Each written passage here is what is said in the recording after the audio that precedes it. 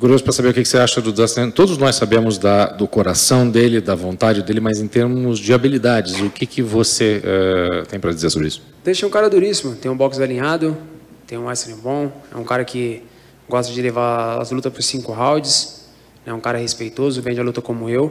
Mas a realidade, como eu falei, eu não estou preocupado com aquilo que o Dust quer trazer, mas sim com aquilo que eu posso trazer para dentro do game.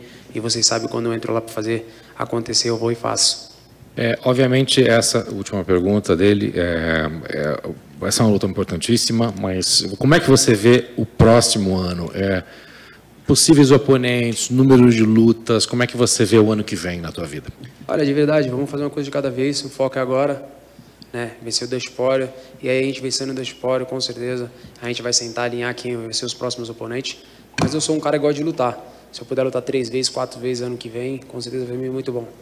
É, você mesmo falou é, sobre o, as habilidades que o Dustin tem com é, o boxe, mas o que, que você pensa das habilidades dele com o grappling? Que, como é que você vê isso? Olha, de verdade, como eu falei, ele é um cara duríssimo, merece todo o respeito do mundo, né? mas eu estou preocupado com aquilo que eu posso levar para dentro do game, para dentro do jogo. Né? Eu sou um cara habilidoso no chão, vocês estão vendo, vocês notam o quanto que eu venho evoluindo na parte em pé, né? e eu entro lá para nocautear ou finalizar. Então essa é a minha preocupação, aquilo que eu posso levar para dentro do game. É, aproveitando esse isso esse ensejo que você você falou, é, baseando-se na última luta contra o Michael Jagger, a maneira como você terminou a luta, é, como você finalizou ele, você acha que as pessoas agora finalmente estão entendendo que você é um cara que veio para trocação, que você é um cara que vai ficar de pé e isso aí é, veio, veio para ficar? Eu falei isso, né? eu mandei um recado para a divisão. Eles podem bater.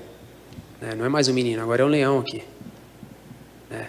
Eu nocauteei o Michael Chandler de mão esquerda. Então isso aí, isso, isso, isso é um recado para a divisão. Vocês viram a luta, vocês viram o que eu passei no primeiro round.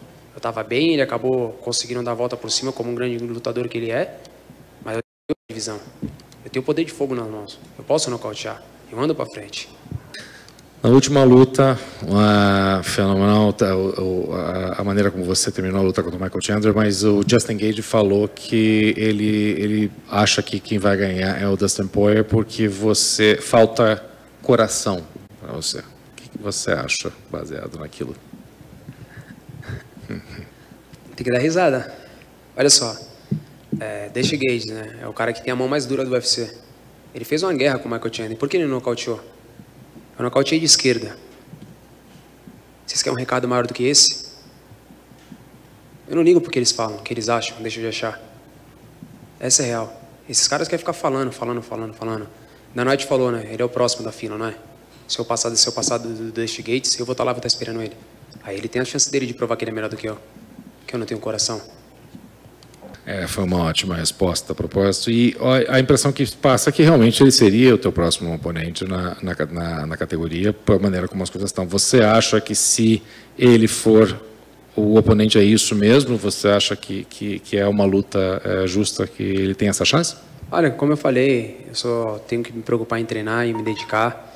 Meu foco agora é do Espora. Eu vencendo do Espora, só quero ir para casa, ficar com a minha filha, com a minha família, deixar na mão dos meus empresários para ver quem é melhor e deixar de ser melhor.